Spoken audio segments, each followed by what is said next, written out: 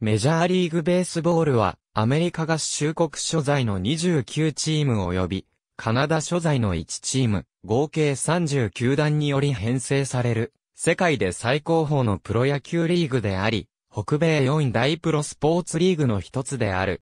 厳密には、1903年に発足したナショナルリーグとアメリカンリーグの2つのリーグの共同事業機構で両リーグの統一的運営をしている。日本ではメジャーリーグ、大リーグとも呼ばれる。大リーグの故障はメジャーリーグの別名、ビッグリーグの訳語である。英語の読みではメジャーリーグベースボールが近い。メジャーリーグベースボールはナショナルリーグとアメリカンリーグの2リーグからなり、アメリカ合衆国に本拠地を置く29球団とカナダに本拠地を置く1球団の全30球団から構成されている。各チームはリーグごとに東地区、中地区、西地区に所属する。アメリカ合衆国外からは過去にモントリオールエクスポスとトロントブルージェイズの共にカナダの2チームが参加していたが、2005年にエクスポスがワシントン DC に本拠を移転したため、米国外チームは現在、ブルージェイズの1チームのみである。試合形式は、レギュラーシーズンとポストシーズンで構成され、最終的に各リーグの優勝チームがワールドシリーズと呼ばれる優勝決定戦を行い、ワールドチャンピオンを決定する。レギュラーシーズンは4月初旬から9月下旬にかけて、各チームが162試合を行い地区優勝を争う。10月初旬からポストシーズンがトーナメント形式で行われる。トーナメントでは各段階ごとにディビジョンシリーズ、リーグチャンピオンシップシリーズ、ワールドシリーズと冠される。1850年代後半、ニューヨークスタイルのベースボールは南北戦争を機にアメリカ北東部を中心に各地に普及し、野球の最初のアマチュアリーグとなる全米野球選手協会が生まれた。ナブプは12年間続き、最も拡大した1867年には400以上のチームがメンバーとなっていた。1860年代前半には、選手の中に報酬をもらって野球をする、いわゆるプロ選手が登場し始めていたとされる。プロ選手に関する正式な規定は1868年に制定され、翌1869年に結成されたシンシナティレッドストッキングスは、プロ選手だけで構成された初めてのプロチームとなり、地方各都市を巡業してその名を馳せた。レッドストッキングスの成功を受け、後を追うように、プロチームが各都市に次々に誕生したが、次第にプロ選手とアマチュア選手の間で内部分裂が起き、全米野球選手協会はアマチュア組織とプロ組織に分割することとなった。こうして、1871年には最初のプロ野球リーグ、全米プロ野球選手協会が創設されたが、リーグ運営は5年で破綻してしまった。この時、現在に残るチーム、シカゴホワイトストッキングスとボストンレッドストッキングスが誕生している。19世紀のボルチモアオリオールズ翌1876年、現在まで続くナショナルリーグが発足。このリーグが最初のメジャーリーグとされる。1876年4月22日フィラデルフィアにあるジェファーソンストリートグラウンズで最初の試合が行われた。ナショナルリーグは所属選手の契約を強制し、高額報酬によるライバルリーグへの流出を防ぎ、これまでは頻繁に起きた優勝を逃したチームの消化試合の中止をなくしすべてのスケジュールを予定通り行うなど、ナショナルアソシエーションの欠点を改善していった。契約にリーグ間の移籍禁止条項を設けたことで初期には選手との対立もあったが、結果的にこれが功を奏し、ライバルリーグはユニオンアソシエーション、プレイヤーズリーグといずれも短命に終わった。最も成功したアメリカンアソシエーションとは1884年から1890年にかけてナショナルリーグとリーグ優勝チーム同士の対戦が行われた。解体した2つのリーグにいたチームは1892年にナショナルリーグに統合されたが、12球団あったナショナルリーグは1900年から8球団へ統合、削減し、ボルチモア、クリーブランド、ルイビル、ワシントン DC から球団がなくなる。一方で、ウワスタンリーグというマイナーリーグが1900年にアメリカンリーグへと改称し、ルイビルを除くナショナルリーグの球団削減で、メジャー球団がなくなった都市へ進出。翌1901年にアメリカンリーグは自らをメジャーリーグと宣言したが、ナショナルリーグがそれに反発、シカゴのレランドホテルで、他のマイナーリーグも交えた会議が行われた。この会議で、アメリカンリーグは、メジャーリーグとして容認され、数多く存在する、マイナーリーグを総括する、新しいナショナルアソシエーションが設立された。ナショナルアソシエーションは、マイナーリーグベースボールとして今日まで続いている。1902年、ナショナルリーグ、アメリカンリーグ、ナショナルアソシエーションは、それぞれの独立経営と共同経営を合わせ持つ、新しい協定に調印した。この合意は、後に、ブランチリッキーにより洗練され、整備されていった今日のマイナーリーグの基礎となる分類システムも確立した。この翌年から両リーグ勝者によるワールドシリーズが行われることになる。後に短命となったマイナーリーグのいくつかは正式にメジャーリーグとみなされ、その統計と記録は現在の2つのメジャーリーグのものに含まれている。1969年にアメリカプロ野球100周年を機に MLB 機構の指定により、野球記録特別委員会が設置され、そこで過去消滅したリーグを含め以下の6つのリーグをメジャーリーグとして認めるという決定がなされた。それ以外の野球リーグでプロとして活動した経歴を持つ選手の記録については、現在この裁定に基づき、どこからどこまでをメジャーリーグ記録とするかといった分類が行われている。ただしこの裁定には一部研究者が異論を唱えており、ナショナルアソシエーション、アフリカ系アメリカ人中心に運営された、ニグロリーグのうち、特に運営基盤が確立されていた1920年から1948年の期間、現在のアメリカンリーグの前身で、マイナーリーグであった、ウェスタンリーグがアメリカンリーグと解消し、ナショナルリーグの参加であった1900年のアメリカンリーグなどもメジャーリーグとして扱うべきなどの意見がある。2020年12月17日、MLB 機構は、ニグロリーグに含まれる下記の7つのリーグの記録について、メジャーリーグの地位を与えると発表した。サイヤング1900年から1919年までの期間は、一般にデッドボール時代と呼ばれる。この時代の試合は、得点が低い傾向があり、ウォルター・ジョンソン、サイ・ヤング、クリスティマ・シューソン、モーデカイ・ブラウン、グローバー・アレクサンダーなどの投手たちが試合を支配した。その要因はいくつかあるが、一つには、この時代に使われていた、デッドボールと呼ばれた、とても緩みやすく投げるほどに、糸がほつれ、飛距離が出なくなるボールに原因があった。それに加え、オーナーは3ドルの新しいボールを購入することを嫌っていたため、ファウルボールも稀だったその当時、ファンはホームランボールでさえ投げ返さなければいけなかった。ボールは柔らかくなるまで、時には皮がめくれ上がるまで試合で使い回された。そのため紙タバコのヤニや草、泥などで常に汚れていた。また、ごく一部の選手ではあったがボールを噛んで傷をつけたり、故意に汚すなどして、投球に変化を加えるスピットボールを操る投手もいた。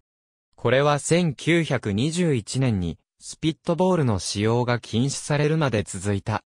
さらに、シカゴカブスのウエストサイドパークや、ボストンレッドソックスのハンティントンアベニューグラウンズに代表されるセンターが現在の球場より200フィートほども広い球場があり、そのため、ホームランは稀で、単打、ギダ、盗塁、ヒットエンドランなどのスモールボールが当時の戦略の用となっていた。内野安打を稼ぐためにボルチモアチョップなどの戦法が編み出された。ボルチモアチョップは、ボールをあえて前に飛ばそうとせず、地面に叩きつけ、打球が届かないほど高く跳ねている間に一塁を駆け抜けるというものだった。20世紀初頭、ファウルストライクルールが採用された。これによって試合時間が大幅に短縮されたが、これまでのような大量得点試合が減り、試合で1点を取るのがより困難になった。19世紀のルールでは、ファウルボールはストライクとしてカウントされなかったため、打者はストライクがカウントされないまま投手に球数を投げさせることができたため、打者にとっては大きな利点であった。1901年からナショナルリーグが先にファウルストライクルールを採用し、1903年からアメリカンリーグでも採用された。しかしこのルールによって大量得点試合が減るということがファンの間では不満となっていた。追い打ちをかけるように1917年、アメリカが第一次世界大戦に参戦すると、開催こそ継続されたものの選手の出生が相次ぎ、1918年には、レギュラーシーズンが短縮された。1919年、シカゴホワイトソックスとシンシナティレッズで行われたワールドシリーズにおいてメジャー史上最悪の不祥事であるブラックソックス事件が起き、メジャーリーグは社会的信用を失うことになってしまった。ホワイトソックスの選手だったジョー・ジャクソン、エディ・シーコット、レフティ・ウィリアムズ、チック・ガンディル、フレッド・マクマリン、スウィード・リスバーグ、ハッピー・フェルシュ、バック・ウィーバーは賄賂を受け取ってわざと試合に負けた容疑で刑事告訴された。この8名の選手はメジャーリーグから永久追放処分となった。ベーブ・ルース1910年代に下落した野球の人気は1920年に起きた悲劇と一人の選手の登場によって回復していった。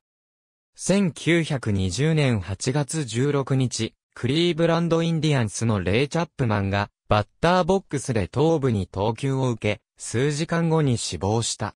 チャップマンは、試合中に死亡した唯一の MLB 選手となった。この悲劇は、当時の選手がヘルメットをかぶっていなかったことにも原因があるが、結果的には、デッドボール時代を終わらせる手助けとなった。それまでは、試合後半になると、ボールが柔らかくなり、不規則な動きを見せ、汚れ見えづらくなっていたが、ボールが汚れるたびに取り替えるというルールが生まれたからで、ある。ボールを取り替えることにより、飛距離が飛躍的に伸びる結果になった。この頃から、ライブボール時代が始まった。同年、ボストンレッドソックスより、ニューヨークヤンキースに、ベーブ・ルースが移籍。これまで投手として活躍していたルースであったが、前年に当時の MLB 記録となった29本塁打を記録。ヤンキースでは打者に専念すると不可能と思われていた。自身の本塁打記録を大幅に更新する54本を放ち、翌1921年には59本と3年連続で本塁打記録を塗り替えた。ルースを擁するヤンキースは1921年に初のリーグ優勝を1923年には、ワールドシリーズ初優勝を果たす。1927年、ルースは、本塁打記録を60本に更新、さらにルー・ゲーリッグの台頭などで強力打線となったヤンキースは、1930年代の終わりまでに11度のワールドシリーズに出場し、8度の優勝を果たすこととなる。この時代には1試合あたりの得点も上昇。この打撃戦をファンは支持し観客動員は増加した。1929年頃始まった大恐慌の影響を受けて野球の人気は再び下降を始めた。1932年までに利益を上げた MLB チームは2チームだけだった。野球のチケット価格には10%の娯楽税が課せられ、観客動員は減少した。オーナーは契約選手を25人から23人に減らし、最優秀選手でさえも賃金を引き下げた。チームは生き残りをかけて、ナイターゲームの実施、ラジオでのライブ中継、女性の無料入場などの改革を行ったが、大恐慌の前には歯が立たなかった。追い打ちをかけるかのように1939年、第二次世界大戦が開戦。MLB でもチームに所属している選手500人以上が出兵を余儀なくされ、深刻なプロ野球選手不足を引き起こした。彼らの多くは、出兵している軍人を楽しませる、サービス野球チームでプレーした。この時期の MLB チームは、兵役対象外の青少年、年長の選手で構成されていることになった。中には、精神的、道徳的に不適格だった者もいた。その一方、肉体的にハンディキャップを負った選手にも機会を与えることになった。片腕がなかった外野手のピート・グレーのような選手もメジャーリーグに進出することができた。しかし、黒人が MLB のロースターに含まれることはなかった。黒人選手は戦争で人手不足であっても MLB の出場は認められず、以前としてニグロリーグでしかプレーできなかった。初めて黒人が MLB に登場するのは1947年のジャッキー・ロビンソンである。戦時中の10日間制により野外照明を暗くしなければならなかったため、ナイターでの試合が困難になった。1942年、国内では開催中止論も広まりつつあったが、1月14日に、初代コミッショナーである、ケネソー・マウンテン・ランディスは、フランクリン・ルーズベルト大統領宛てに手紙を送り、新たなメジャーリーグシーズンの開始と戦時中の野球の継続を嘆願した。大統領の返信には、野球を続けるのが最善であると正直に思っている。失業者は少なく、誰もが、これまで以上に長時間厳しい労働を強いられることになるだろう。ということは、今まで以上に全国民が、リクリエーションの機会を持つべきだ。と書かれていた。この手紙は、グリーンライトレターと呼ばれ、アメリカ野球殿堂博物館に保管されている。こうして、ルーズベルト大統領の承認を得て、戦時中も試合は継続された。スタン・ミュージアル、テッド・ウィリアムズ、ジョー・ディマジオなどのスターたちのキャリアは中断されたが、チームは引き続き MLB でプレーすることになった。しかし、各球団とも選手の出征が相次いだことによる深刻な選手不足は変わらず、1945年の MLB オールスターゲームは中止となった。ジャッキー・ロビンソン1880年代にはメジャーリーグにも黒人選手が存在したが、選手、リーグの激しい反発により短期間で姿を消すこととなった。それ以降、黒人選手との契約を禁止する規則は存在しなかったものの、1940年代半ばまで黒人選手はメジャーリーグでプレーできなかった。ただし同じ有色人種でも肌の黒くないヒスパニック系やネイティブアメリカンの選手はプレーできた。1945年、ブルックリンドジャースの社長兼ゼネラルマネジャーであるブランチ・リッキーは、プロの野球リーグに黒人野球選手を本格的に入団させようと動き出した。彼は、ニグロリーグの有望選手のリストの中から、ジャッキー・ロビンソンを選んだ。リッキーはロビンソンに、彼自身に向けられる差別に、やり返さない勇気を持つことを求め、月額600ドルの契約を結ぶことに同意した。ロビンソンは、ドジャースのファームクラブである、モントリオールロイヤルズに1946年シーズンから参加、1880年代から続く、インターナショナルリーグにおいて57年ぶりの黒人野球選手となった。翌年、ドジャースはロビンソンをメジャーリーグに呼び寄せた。1947年4月15日、ロビンソンは、エベッツフィールドで1万4000人以上の黒人を、含む2万6623人の監修の中、メジャーリーグデビューを果たした。黒人野球のファンは、それまでのニグロリーグのチームの観戦を放棄し、ドジャースの試合を見るために、ブルックリンに殺到した。ロビンソンの売り出しには、新聞や白人メジャーリーグの選手の大多数が反対であった。監督のレオド・ローチャーはチームに、私は、選手の肌が黄色であろうと黒であろうと、ヤンキースのストライプが好きでも構わない。自分はこのチームの監督だ。チームに必要な選手であれば使う。もし自分に反対する者がいるなら、トレードで出ていくことになるだろう。と語った。対戦相手のフィラデルフィア・フィリーズは、ドジャースとの対戦を前に、ロビンソンが出場するなら、対戦を拒否すると通告。それに対し、ハッピー、チャンドラーコミッショナーはドジャースを支持し、フォードフリックナショナルリーグ会長は、対戦を拒否したら出場停止処分を課すと発表し、問題の沈静化を図った。ロビンソンは何人かの選手から励ましを受け、チームメイトのピーウィー・リースは、チームメイトの前で真っ先にロビンソンと握手をしてみせた。球場で、ロビンソンが、誹謗中傷を受けていると、リースは、守備時に、ロビンソンに歩み寄り、黙って肩を組んで観客席を見回した。この光景に、観客の誹謗中傷は徐々に減っていった。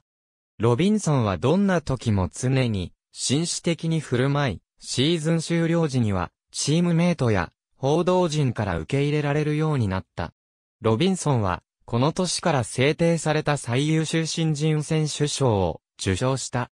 3ヶ月も経たないうちに、ラリー・ドビーがクリーブランド・インディアンスと契約し、アメリカンリーグも黒人選手を受け入れると、翌年、他の多くの黒人選手がメジャーリーグに入った。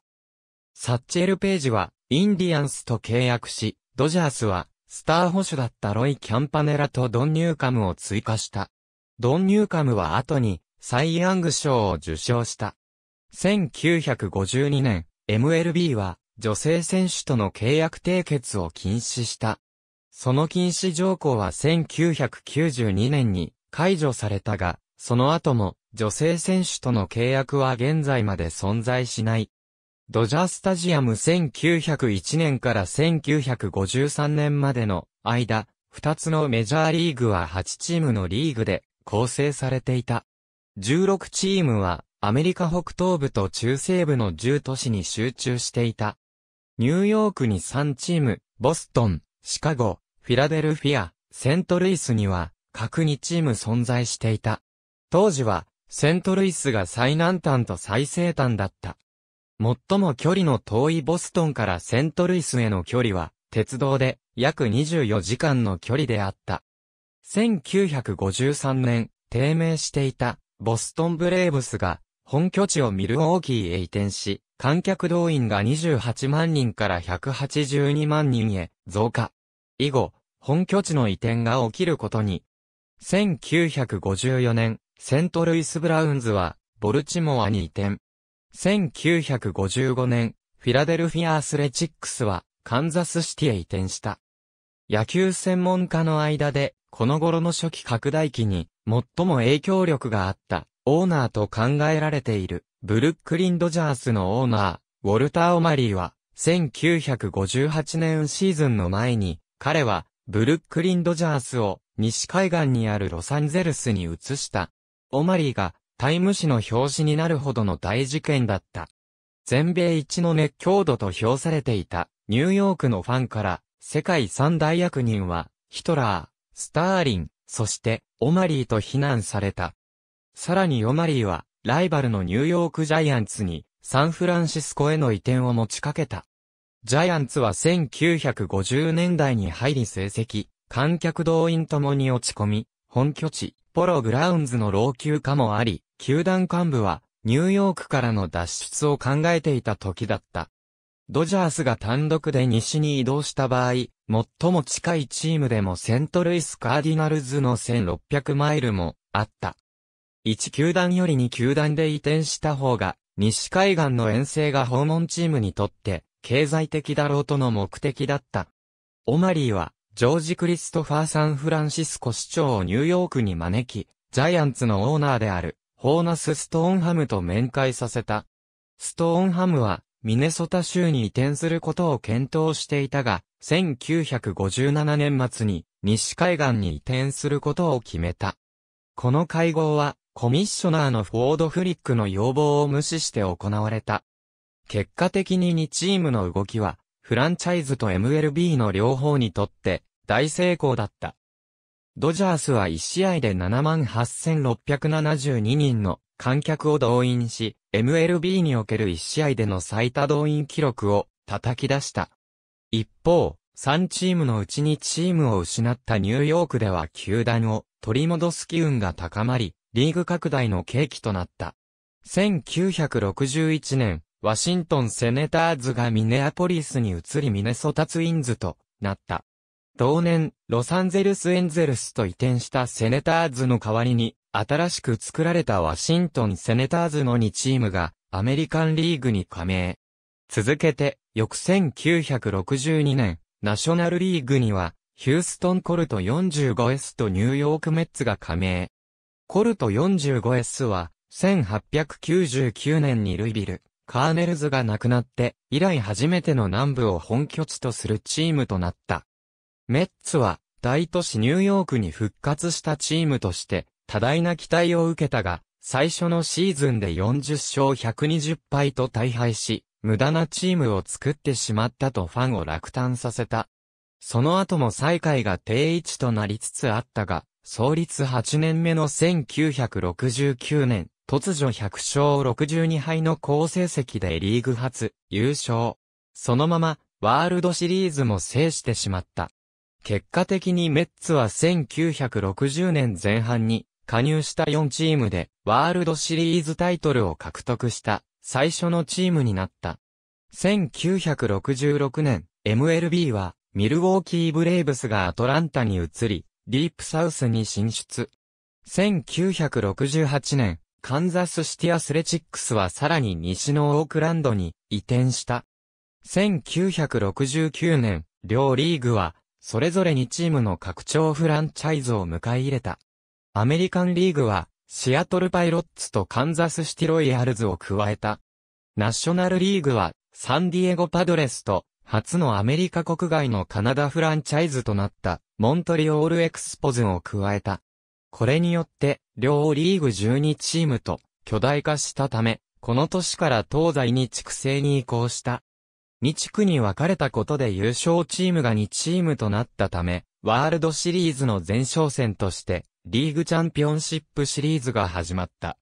1972年、ワシントンセネターズは、アーリントンに移り、テキサスレンジャーズになった。1977年、アメリカンリーグが、再び拡大、シアトルマリナーズとカナダ第2のチーム、トロントブルージェイズが加わった。その後、しばらく新しいチームは追加されず、1990年代までチームの移転もなかった。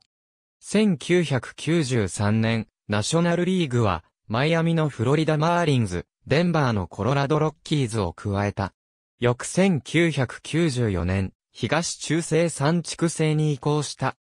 1998年、ナショナルリーグは、フェニックスのアリゾナダイヤモンドバックス、アメリカンリーグに、フロリダタンパのタンパベイデビルレイズが加わった。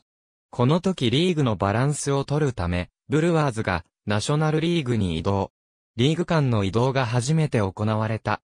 2001年のシーズン後、オーナー会議が開かれ、リーグの縮小、いくつかのチームの廃止が検討され、多くのオーナーによって縮小に賛成票が投じられた。その中で、モントリオールエクスポズとミネソタツインズが廃止に、最も近い2チームであった。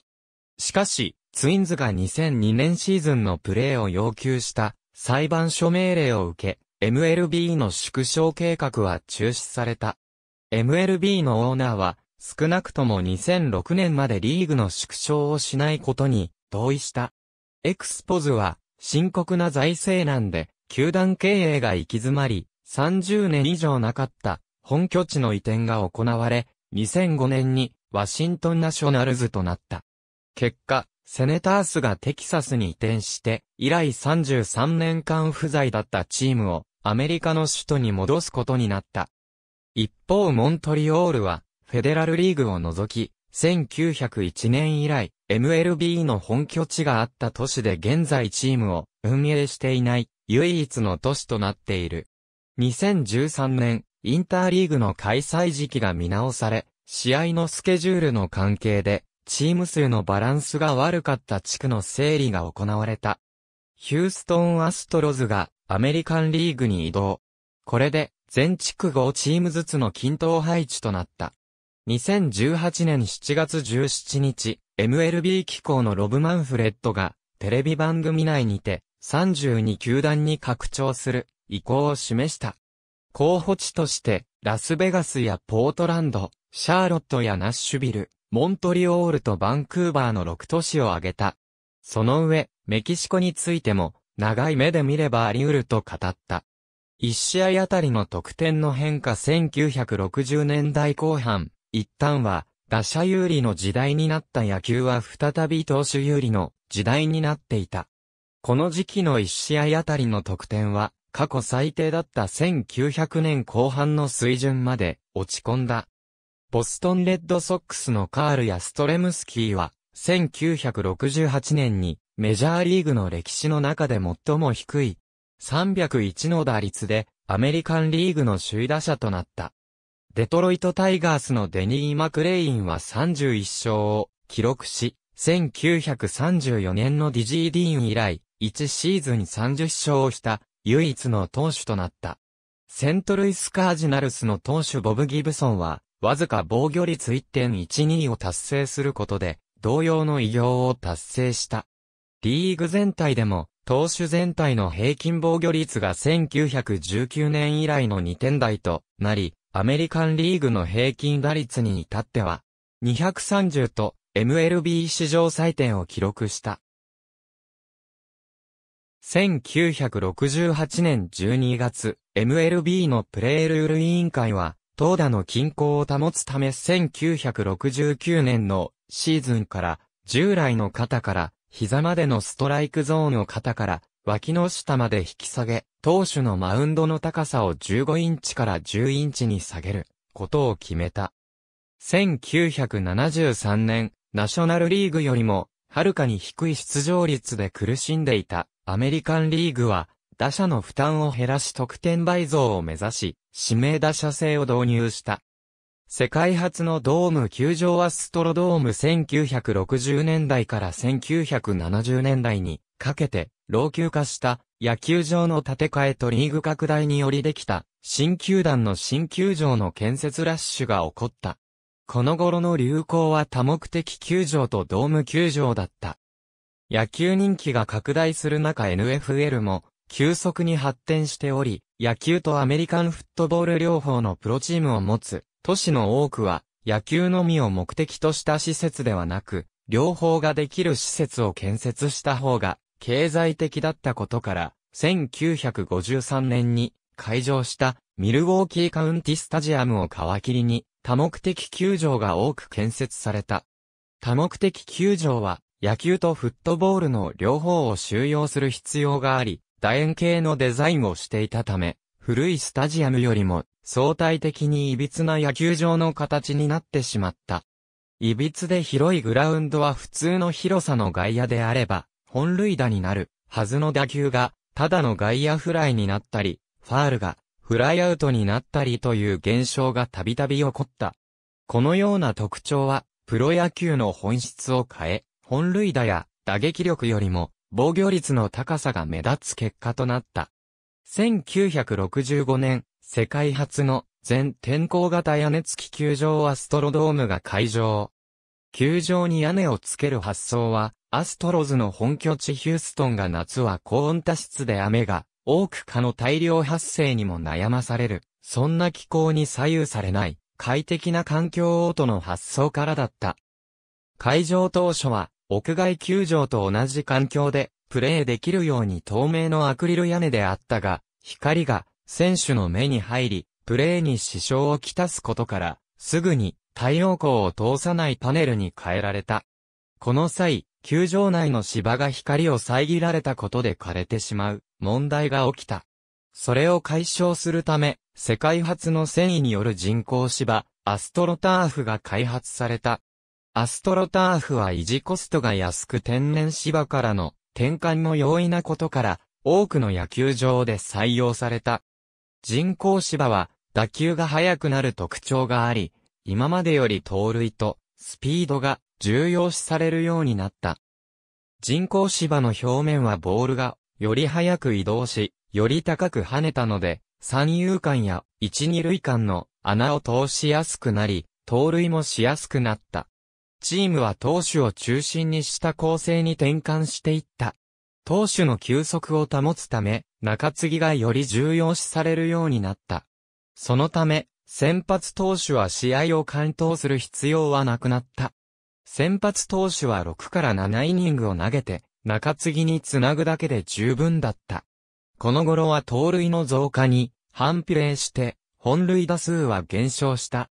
本塁打は、ウィリー・メイズが1965年に52本を打った後、50本を超えたのは1990年まで、ジョージ・フォスターが1977年に到達したのみだった。1980年代、多くの球場で採用された人工芝であったが、下地がコンクリートやアスファルトで固く選手の足腰に負担がかかるという声が上がるようになる。1989年、世界初の開閉式、屋根付き球場のスカイドームが開場すると、屋根付きでありながら、天然芝の生育が可能となる。1992年、天然芝のオリオールパークアットカムデンヤーズが開場すると、レトロ回帰の新古典式野球専用球場が主流となっていき、徐々に人工芝の球場は減少していった。1994年、サラリーキャップ制度導入をめぐって経営者側と選手会側が対立し、シーズン最中の8月から翌1995年4月にかけて MLB 史上最長のストライキが発生。ストライキは232日間にわたり、1994年のワールドシリーズも中止された。選手会との協議の結果サラリーキャップ制度の導入は見送られたが、選手の報酬総額が相対的に高い球団に対する課徴金制度が導入された。このストライキで一時大規模なファン離れが生じる結果となってしまった。1995年、ドジャースに野茂秀夫が入団。マイナー契約であったが5月に MLB へ昇格し、デビューすると13勝と活躍し、新人王を獲得した。この日本人の活躍は、国外の市場を開拓する契機となり、後に多くの海外出身選手がメジャーデビューした。1997年、MLB 以外のプロスポーツリーグでは、積極的に行われてきた、インターリーグを導入。これまで、サブウェイシリーズのニューヨークヤンキース対ニューヨークメッツに代表される、同都市にあるチーム同士の対戦は、ワールドシリーズでしか叶わなかったため、高カードが、レギュラーシーズンで見られるとあって、ファンには、高評価であった。1998年のマーク・マグワイアとサミ・ソーサによるシーズン最多本塁打記録争いなどで盛り上がり、観客数もスと前の水準に回復した。1990年代後半から2000年代前半に本塁打量産ブームが起き、2001年にはバリー・ボンズが73本塁打を放ち、現在のシーズン本塁打記録を樹立した。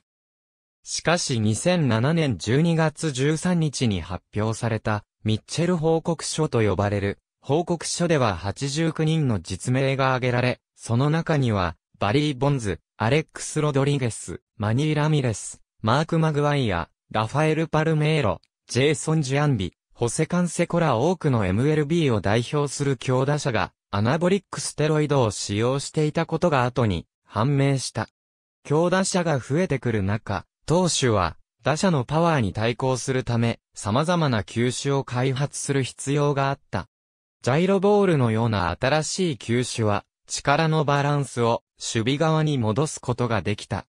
1950年代から1960年代のスライダーや1970年代から1990年代のスプリットフィンガーファストボールなどの球種で野球の試合が変わった。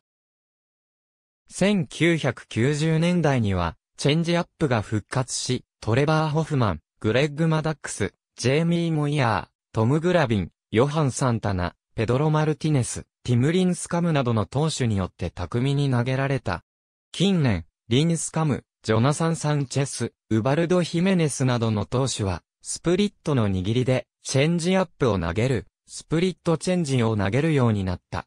2008年に、ビデオ判定が導入され、2014年からは、その範囲が拡大され、チャレンジ方式が採用された。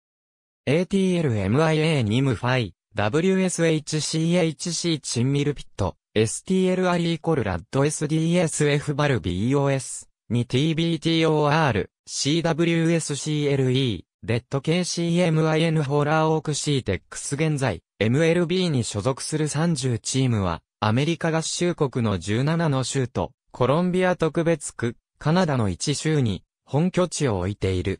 ナショナルリーグ、アメリカンリーグともに15チームが所属。さらに各リーグに所属するチームは、地図上で、東中西の3つの地区に分割される。各地区は、すべて5チームずつで構成される。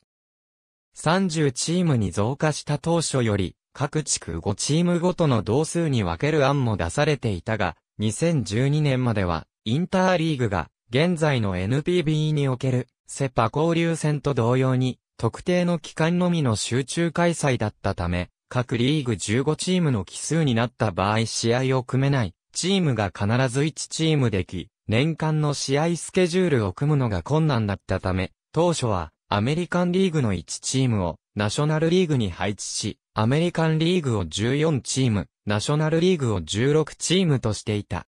その後、2013年からインターリーグを年間通じて行う方式に改正し、アメリカンナショナル両リーグ内の試合を組めない1、チーム同士で常に試合が行われることによりこの問題は解消され、同年にナショナルリーグの1チームがアメリカンリーグに配置され、各地区が5チームずつに分けられた。スプリングトレーニングの試合風景シーズンが始まる前の2月中旬から3月下旬にかけて日本の春季キャンプにあたるスプリングトレーニングが行われる。このキャンプが行われる時期はまだ気温が低く、雪が降るなどの地域があるため、暖かい地域のアリゾナ州とフロリダ州にあるマイナーリーグの本拠地がキャンプ地に選ばれている。アリゾナ州をキャンプ地にするチームでカクタスリーグ、フロリダ州をキャンプ地にするチームでグレープフルーツリーグが形成され、公式戦と同じような形式でオープン戦が行われるが、この間の記録は公式記録とはならない。スプリングトレーニング開始時点で、各チームの26人ロースターは確定しておらず、40人ロースターの選手と、ロースター外の招待選手と呼ばれる、ベテランの FA 選手や、参加マイナー球団所属の有望選手の中から、レギュラーシーズン開始までに、開幕のロースター枠をめぐって、ふい分けが行われる。レギュラーシーズンよりも、ベンチ入り選手数が多いため、チームを2分割し同じ日に違うチームと対戦する、スプリットスクワッドなどの方式が取られる場合もある。メジャーリーグの試合風景4月上旬から9月下旬に、かけて1チームインターリーグを含む162試合対戦する、レギュラーシーズンが行われる。インターリーグは前述の通り、2013年から両、リーグ15チームの奇数となったため、余ったチーム同士で試合が組まれ、レギュラーシーズンを通じて、計20試合を行われる。2012年以前は、例年5月中旬から6月中旬の間に、数試合を行い、その後一旦同リーグ内のカードに戻った後、6月上旬から7月、中旬の間で再び数試合を行うという日程となっており、合計18試合程度行われていた。その他の試合は2013年以降、同地区4チームと計76試合、同リーグの他に地区10チームと計66試合の対戦となる。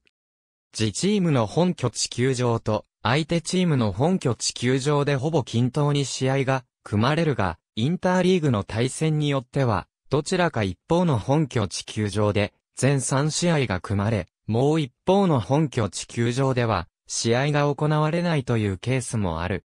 ただし、各チームのホームゲームとアウェーゲームの数が、それぞれ81試合と均等になるように、試合のバランス調整は行われている。両リーグとも予告先発制度を採用している。先発投手は試合ごとではなく対戦カードごとにまとめて予告される。なお、アメリカンリーグでは指名打者制が採用される。試合は、引き分けなしの時間無制限で行う。降雨などで、タイゲームとなった場合はサスペンデッドが宣告され、この場合は次の日以降に中断した時点から再開し、決着がつくまで試合が行われる。その場合の試合は、移動日や1日にその日予定されていた試合と順延になった試合の2試合を行うダブルヘッダーなどで消化される。大乱闘などで試合続行不可能になったり、そもそも相手チームが到着せず、試合ができない場合などは、フォーフィッテッドゲームとなることがある。ただし2020年には、特別ルールとして延長10回から走者を2塁に置いた状況で攻撃を開始するタイブレーク制を採用する。怪我や疾病のために試合出場が困難と診断された選手は負傷者リストに登録されてアクティブロースターから外れ、所定日数が経過するまでは復帰できない。他にも、木引きや育休などの目的でロースターを一時離脱できる制度がある。その間は、参加マイナーリーグなどから代替選手を補充することができる。レギュラーシーズン中、40人ロースター内の選手のトレードは7月31日まで可能となっている。そのため、特にトレード期限日直前には、主力選手が絡む駆け込みトレードが多く成立する。9月1日になると、アクティブロースターの枠が26人から28人へ拡大される。なお2019年までは、最大40人に拡大されていた選抜されるのい。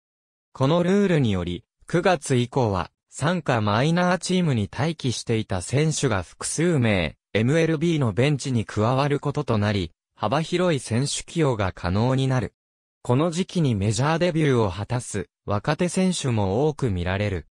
ただし、ポストシーズンには26人ロースターの選手のみ出場可能であり、また8月31日時点で、当該チームの40人ロースターに登録されていなかった選手は原則、ポストシーズンのロースターには登録できない。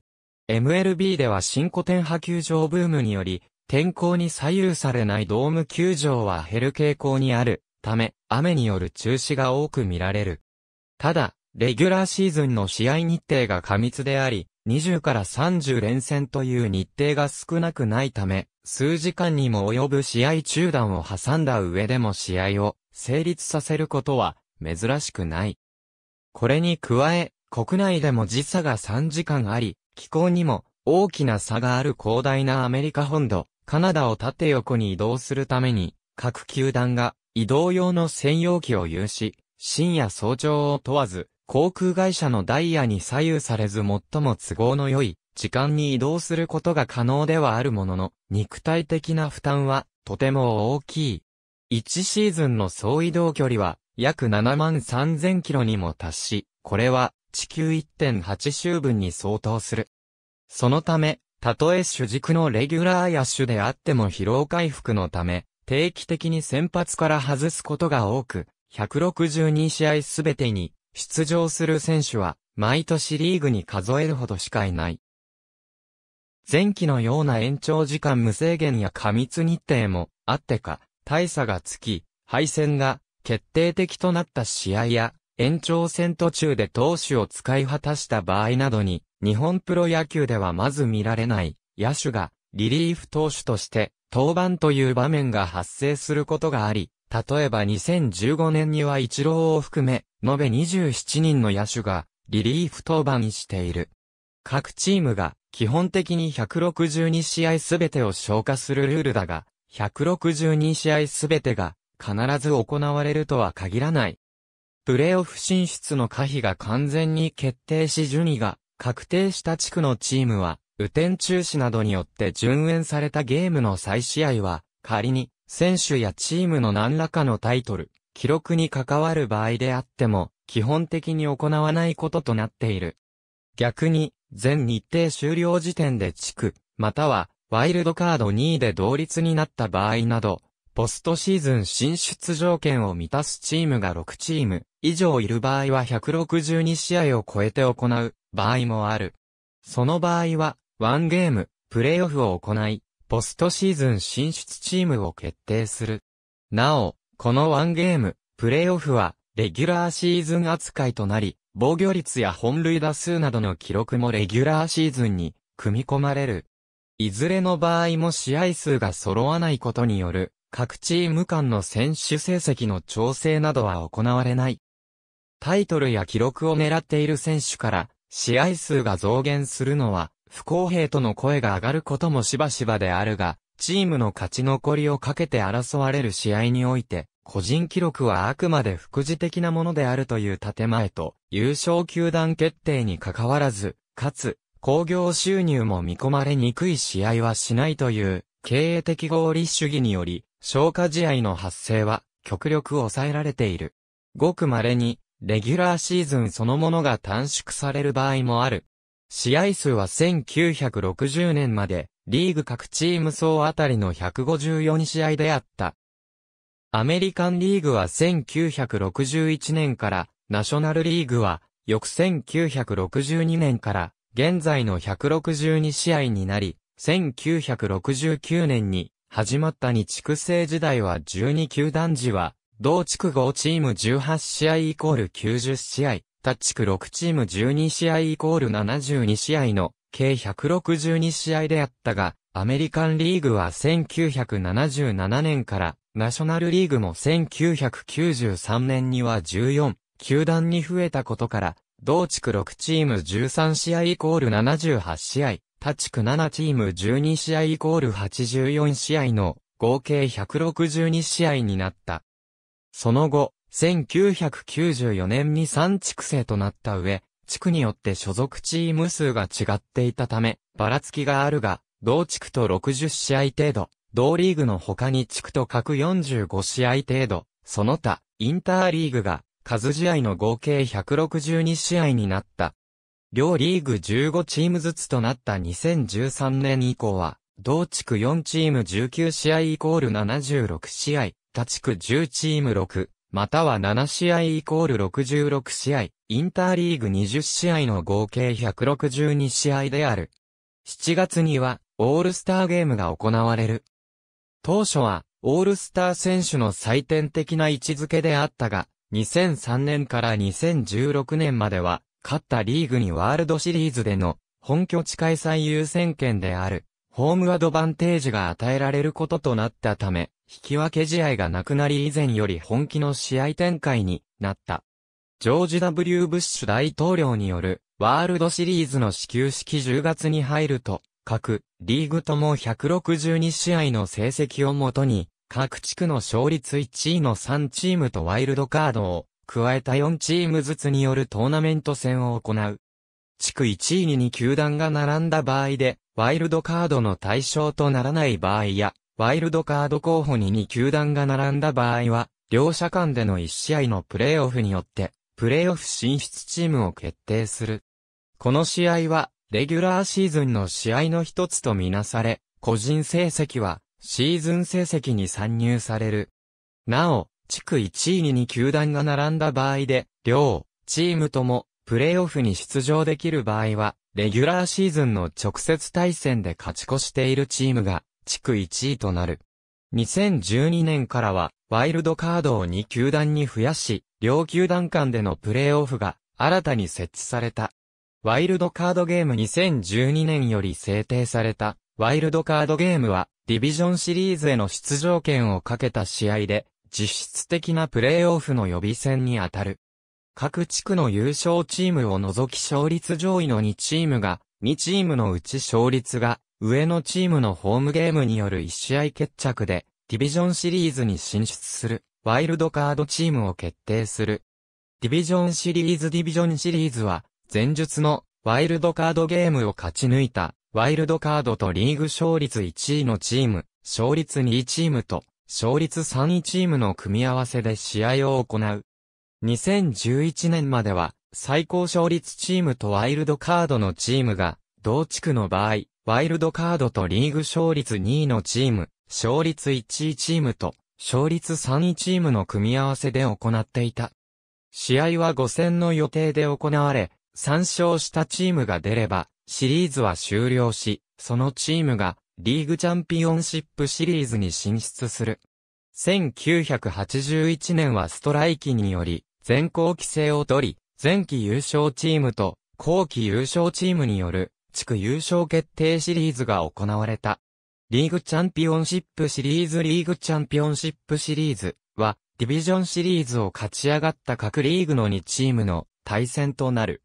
試合は7戦4勝制で行われ、4勝したチームが出た時点でシリーズは終了し、リーグ優勝となり、ワールドシリーズ出場権を獲得する。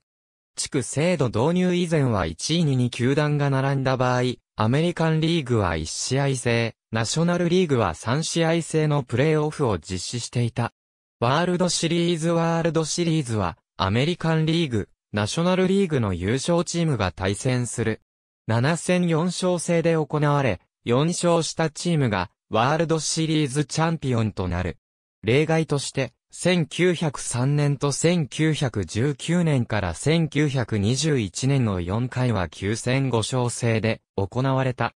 現在、ワールドシリーズチャンピオンになった経験があるチームは30チーム中24チームで、残りの6チームは一度もワールドシリーズチャンピオンの栄冠を獲得していない。中でも、シアトルマリナーズは、リーグ優勝も叶っていない。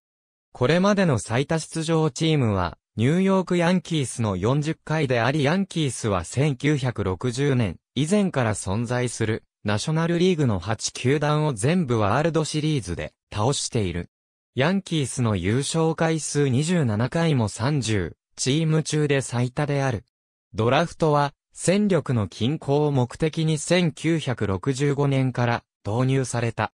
毎年6月、または7月に開催され、学生及び独立リーグの選手を対象に、完全ウェーバー方式で1チームあたり数十名の新人選手が指名される。指名選手とは、マイナー契約しか締結できないため、ほぼすべての選手は、マイナーリーグで数年間の育成を経た後、有望選手が MLB 昇格を果たしていく。またシーズンオフの12月には、40人ロースター外で、かつ、MLB 参加に一定年数以上在籍している他、チームの現役選手を指名し獲得できる、ルール5ドラフトが開催される。この制度は、選手の介護ロ死を防ぐ目的で行われる。マイナーリーグベースボールは、独立採算制で運営されている北アメリカのプロ野球リーグのうち、MLB の参加に入る協定を結んでいるリーグを指す。ミルブ所属チームは、最上位のトリプル A 級を筆頭に5階級のクラスに分かれ、各クラス内でリーグを組み、公式戦を実施している。MLB 所属チームは、各クラスのミルブ所属チームを直営するか、または、各地域の既存の独立資本チームと、選手育成契約を結んで選手を呼び、コーチを派遣することで、自らの下部組織としている。ミルブは、各フランチャイズでの野球振興のほか、MLB チームがドラフトインターナショナル FAFA で獲得した選手、故障した MLB 所属選手、ミルブチームが独自に獲得した選手たちの育成、調整目的の場となり、これらの選手を MLB に供給する役割も担っている。1920年にブラックソックス事件が発覚し、野球人気が低迷した。人気を回復するため中長期的な展望、戦略、迅速な意思決定をする必要に迫られた各オーナーたちが話し合い、中立的な意思決定機関として1920年にコミッショナー制度が導入された。そして連邦地裁判事だったケネソー・マウンテン・アンディスが初代コミッショナーに就任。制度導入以後はしばらくコミッショナーと両リーグ会長の三党体制をとっていたが、1999年を最後に両リーグ会長職は廃止されている。MLB は経営においてはカルテルであり、これについてはアメリカの法令において特別な例外規定により独占禁止法の適用を免れている。このためチームの総数の制限、収益の組織的分配、本来なら個人の自由な経済活動を制限するドラフト制度などを合法的に行える。特にドラフト制度と収益の分配は各チームの実力を気につかさせ、試合内容を充実することで、観客動員数及びテレビの視聴率を上げている。一方で、日本のプロ野球は、経営自体は、大抵赤字で、チームのオーナー企業の宣伝が、経済活動の基盤である。このため強いチームが、わざわざ弱いチームに便宜を図って、実力の均衡を図ることに、メリットが存在しない。野球チームの経営は、オーナー企業の広報活動の二次的なものに、過ぎないからである。MLB でのそれぞれのチームは大抵独立組織で、黒字であり、逆に複数の企業がそのチームの移行の宣伝効果を求めて、スポンサーになるという構造になっている。また MLB のチーム数は大都市のステータスとして、プロ野球チームの招致を希望するアメリカの都市の数より少なめに設置されている。これにより、アメリカのプロ野球チームは、様々な経済的優遇措置を、招致都市から引き出すことができる。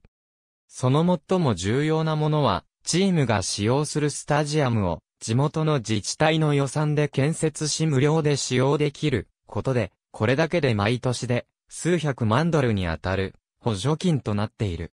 日本のプロ野球チームが2軍を維持するのがやっとなのに、アメリカのプロ野球チームが5軍まで維持できるのは経営そのものに、このような構造的違いがあるからである。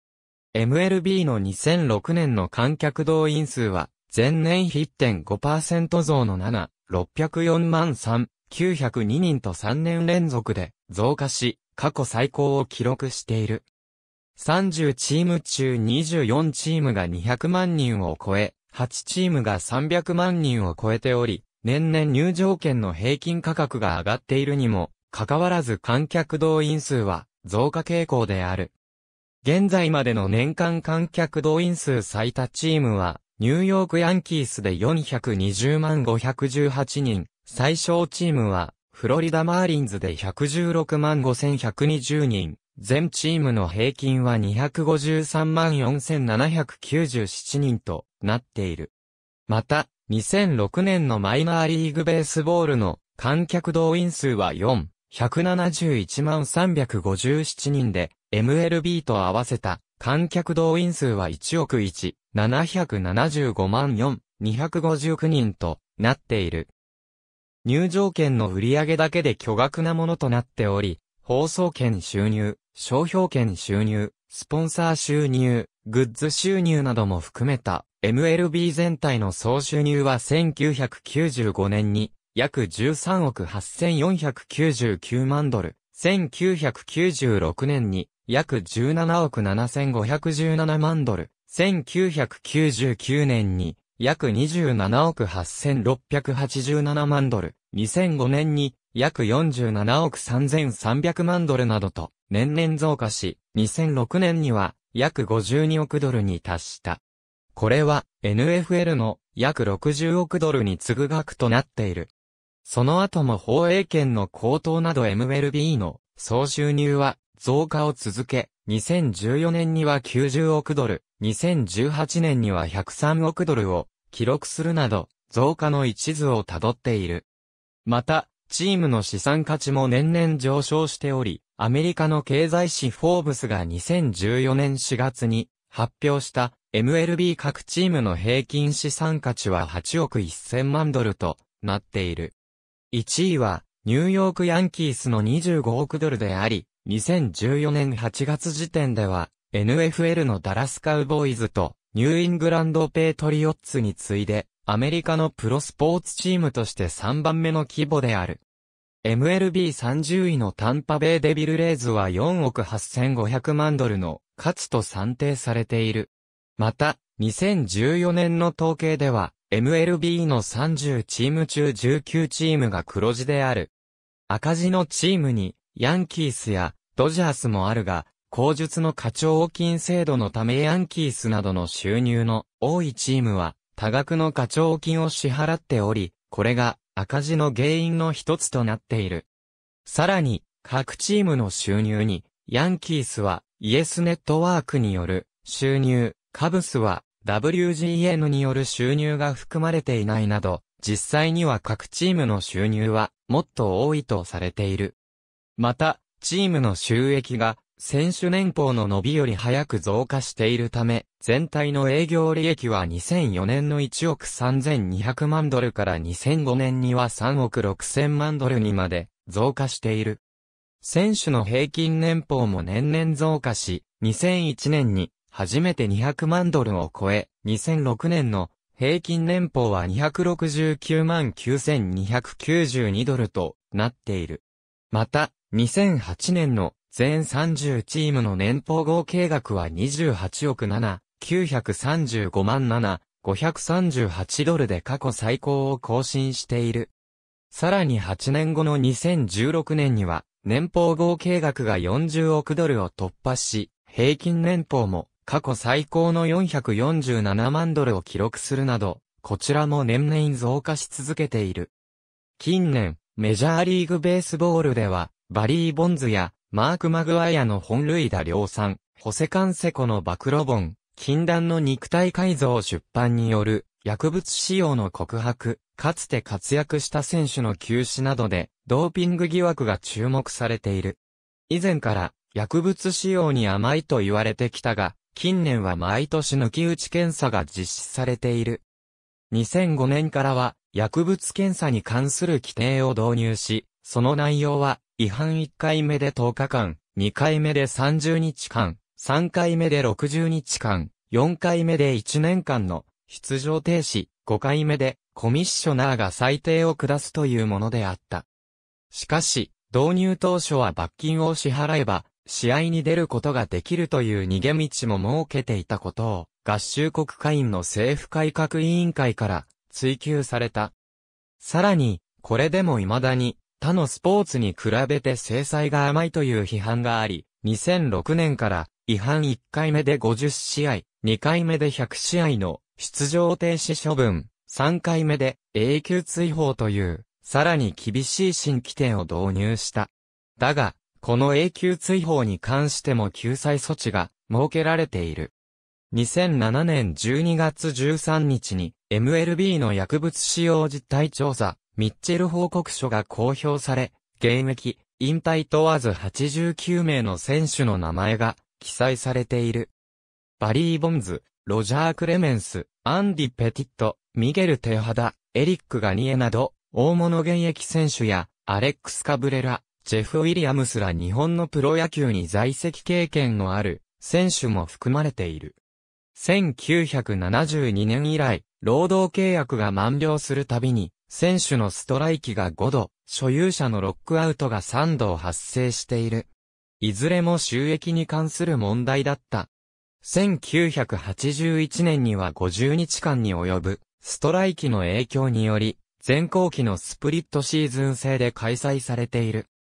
1994年から1995年にかけてのストライキは、サラリーキャップ制度の導入に反発したもので、期間も232日と過去最長に及び、1994年のワールドシリーズも中止になった。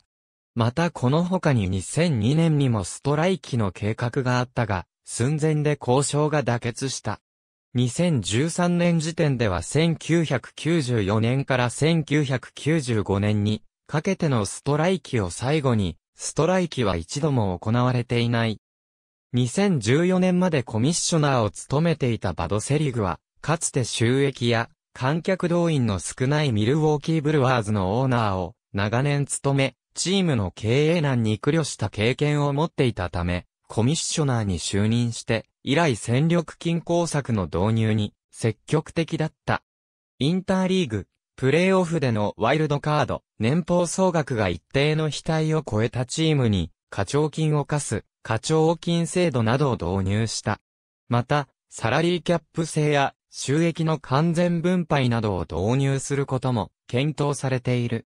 1965年に導入されていた完全ウェーバー制ドラフトなどもあり、2001年以降、ワールドシリーズの優勝チームが毎年入れ替わっている。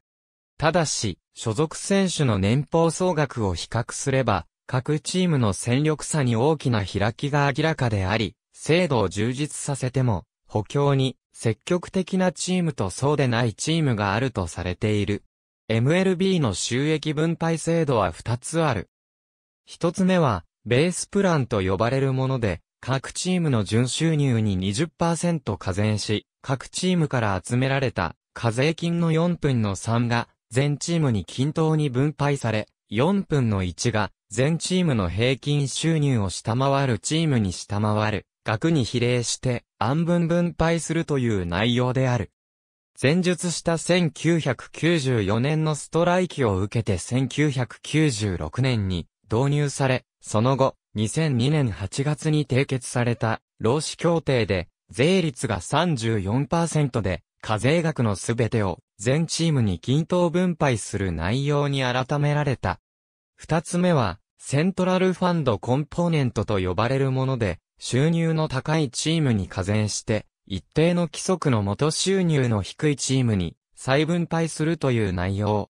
この制度の目的は、収入の低いチームにより多くの分配金を分配することで収支を改善し、戦力均衡を促すことにあった。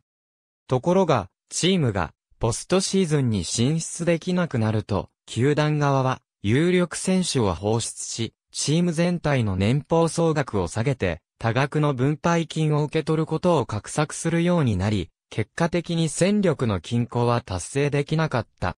そのため、2002年8月に締結された労使協定において、球団側が選手に支払う年俸総額が一定額を超えた場合、超過分に課徴金を課す、課徴金制度が導入された。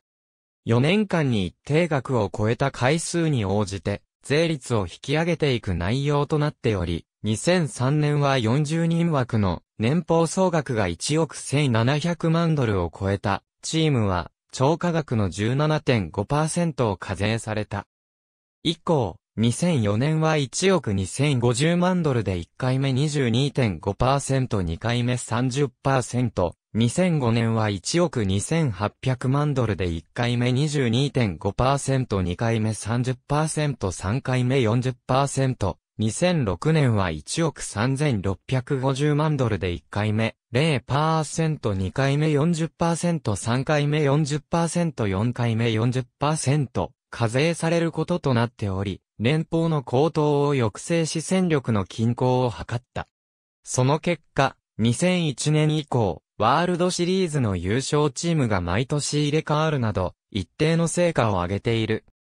また、2006年10月24日に締結された新労使協定では、ベースプランにおける税率が34%から31%に変更され、またセントラルファンドコンポーネントでは、ベースプランで再分配される全額の41.066%分の、額が、ベースプランで支払う、側のチームから受け取る、側のチームにベースプランとは別に、再分配されるよう変更された。支払う、側のチームの負担額は、各チームの収入が、全チームの平均収入の超過分に応じて、ベースプランの41.066%分の、額が、安分徴収され、その徴収額は受け取る、側のチームにスプリットプール方式で再分配される。それと同時に、チームの収入の定義を、過去3年間の平均値から、2005から2006年の実績値と2007から2008年の売上予測の平均値に変更された。チーム収入の定義が変動性から固定性に変更されたことにより、各チームの収入増減が分配額に影響しないようになった。この結果、全チームの限界税率は31%で統一され、安易な有力選手の放出が抑制されるため、戦力が均衡しやすくなっている。課徴金制度の年俸総額の一定額や、選手の最低年俸は、労使協定によりある程度のスパンを持って決められる。なお、日本のメディアにおいて、贅沢税制度によって徴収された課徴金は年俸総額の低いチームに配分されると報道されることがあるが、これは上述のセントラルファンドコンポーネントと混同した誤りである。課徴金は収益分配の対象ではない。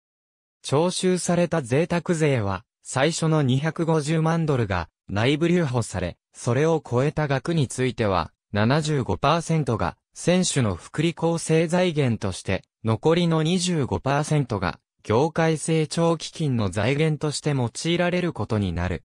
イグフは1996年の労使協定において、アメリカやカナダをはじめとする、全世界で野球を普及させる目的で設置されたもので、ある。MLB のテレビ放映権は、全国放送に限り MLB 機構が管轄し、ローカル放送は各チームが、FOX スポーツネットに代表される、リージョナルスポーツネットワークや地元放送局などと、直接契約を結んでいる。ただし、WGN や2007年9月までの TBS のようなスーパーステーションと契約しているチームの試合は、結果的に全米で視聴可能となるため、放送局はチームに支払う放映権料とは別に、機構に対して、いわゆるスーパーステーション税を支払う必要がある。チームの本拠地が大都市であれば収入が大きくなり、小都市だと収入が少なくなるため、レギュラーシーズンポストシーズン全試合の放映権を管轄している NFL とは違い、チームによって放映権料収入は大きく異なる。1984年、ボストンレッドソックスがニューイングランドスポーツネットワークを設立したのを皮切りに、ニューヨークヤンキース、ニューヨークメッツなど、チーム自らがローカルチャンネルを設立する例もある。これは別会社に入るお金までは課税されないためであり、その別会社がチームに支払う放映権料を低く抑えれば、リーグからの課税額も少なくなるだけにそのメリットは大きい。なお、このように番組がスポーツ専用チャンネルに特化している米国では、その契約からもテレビ中継は試合の途中で終わることはない。また、アメリカではもともと商法行為に対する規制が厳しく、機構側の一括管理による独占、河川契約はなされてこなかった。しかし、1961年の法律制定により、解禁され、NFL が CBS と独占契約を結んだが、ABC と5年間の長期契約を結び、NFL を脅かす存在になったことが一因ことを、皮切りに、アメリカのプロスポーツ界では、機構側が、放映権を一括して複数年にわたる、大型契約を結ぶようになった。その機構側が契約した、放映権料は、コミッショナー事務局のプール分を除いた額が30、球団で均等に分配される。従来、全国放送は ESPN と FOX の2社が契約していた。ESPN とは2005年9月、2006年から8年間23億6800万ドルの新契約にこぎつけたものの、FOX は MLB の視聴率低下によって広告収入が放映権料を下回ったとして値下げを主張、交渉は難航していた。ESPN は主にレギュラーシーズンの平日及び日曜夜の試合を中継する。2006年7月11日、FOX 及び TBS との間に契約が成立した。放映権料は2007年からの7年間で2社合計で約30億ドルが2006年から5年間 MLB の試合を放映する契約を結んだ。オープン戦からワールドシリーズまでの年間275試合がイギリス、アイルランド、ドイツ、スイス、オランダなどのヨーロッパ7カ国で放送される。日本向け放映権は電通が2004年から6年間2億7500万ドルで契約。テレビ放送では、日本放送協会、TBS テレビ、フジテレビジョンで放送している。2008年までは、スカパー JSAT、モバホでも放送していた。NHK TBS フジテレビは、日本人選手が出場する予定の試合や、オールスターゲームポストシーズンを中心に生中継など行っている。当初は地上波では上記3局で月ごとのローテーションを決めていたが、その後週単位のローテーションに変更された。大抵系列 BS での中継であり、特に NHKBS での中継本数が多く、BS デジタル放送受信世帯数を押し上げる要因の一つにもなっている。注目カードは地上波で中継される場合もある。2006年のワールドシリーズは、フジテレビでダイジェストとして放送された。また、メジャーリーグ開幕戦を日本の東京ドームにて開催する場合は、日本テレビが中継を担当していた。スカパーでは、スカちゃんにて500試合から600試合の生中継に加えて再放送を行っていた。スカパー E2 では、スカちゃんにて毎日1.2試合程度正中継を行っていた。2006から2007年は J スポーツプラスでも中継を行っていた。2007年4月、モバイル放送がモバイル放送権を獲得。同年5月より、チャンネル1で原則毎日1試合放送していた。また、同年7月より2008年9月まで、モバイル N で月2試合程度放送していた。2009年、電通は2015年までの契約延長に合意した。新しい契約では、NHK、TBS、フジテレビに加えて、テレビ朝日、テレビ東京、J スポーツでも放送されることになった。一方、民放キー局のうち日本テレビだけは放映権を獲得せず、試合映像の配信も受けていない。J スポーツについては、CS 放送の独占放映権に加えて、BS 放送の放映権も獲得、同年6月より放送を開始している。ラジオ放送では、日本放送が1996年頃より、独占放送権を持ち、メジャーリーグ中継を通常番組を休止して、中継したり、通常番組内で、日本人選手当番部分のみの中継を行っている。クラッカージャック。ありがとうございます。